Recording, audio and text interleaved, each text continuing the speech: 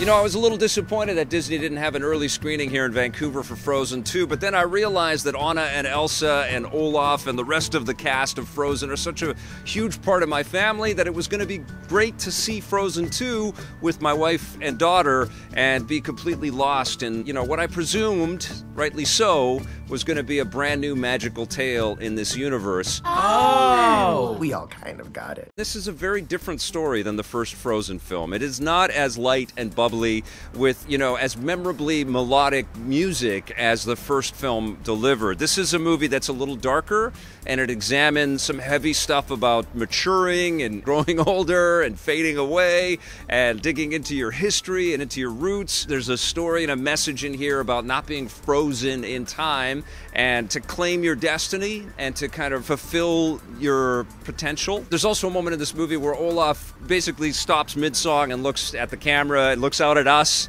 and says, We've all grown older. And it was an effective little piece of cinema. Oh, how I wish this could last forever. Mm. We're trying to figure out the mystery of who Anna and Elsa's parents are, and of course, the resonance of their disappearance echoes all the way through this movie. Kristoff and Anna are trying to further cement their relationship. I'm not very comfortable with the idea of that. Yes, I did well up several times through the story, you know, this reconnection with characters that I don't know how it is in your family, but you know, I've got a seven year old, so Frozen has been this permanent thing in our world for a long time. But that reconnection with these characters is just so heartwarming and it's so effective, and they're all so expertly performed. Especially, I love Anna and Elsa, they're wonderful, but Olaf is just such a marvelous creation, and Josh Gad has to be given special commendation because he's just he's a, the one a wonderful choice for the voice performance here but the script is great and he adds such an undercurrent of levity and poking fun at everything. There's a couple sequences in here where he recounts vast chunks of the frozen tale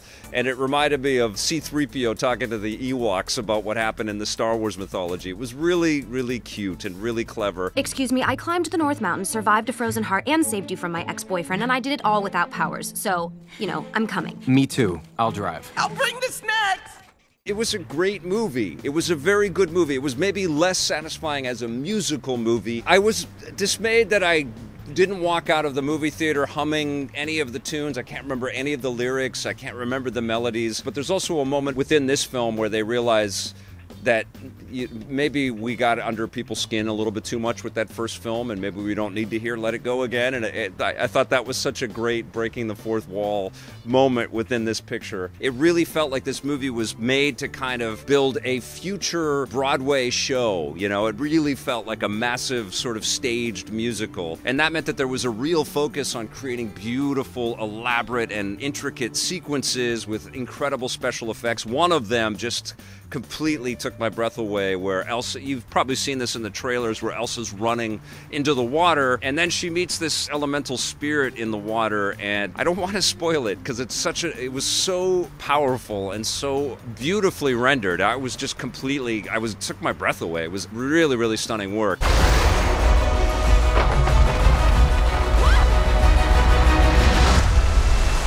I feel like this is maybe a little bit like the Empire Strikes Back of a potential Frozen trilogy. We all know the box office has been incredible already, so presumably a new film will be made, and hopefully we don't have to wait quite so long for Frozen 3. But Frozen 2 is a beautiful movie. It definitely embellishes and adds to the Frozen mythology in some wonderful ways. And if you've had any kind of appreciation for the first film, I think you're really going to enjoy this one too. I'm going to give Frozen 2 an 8.5 out of 10.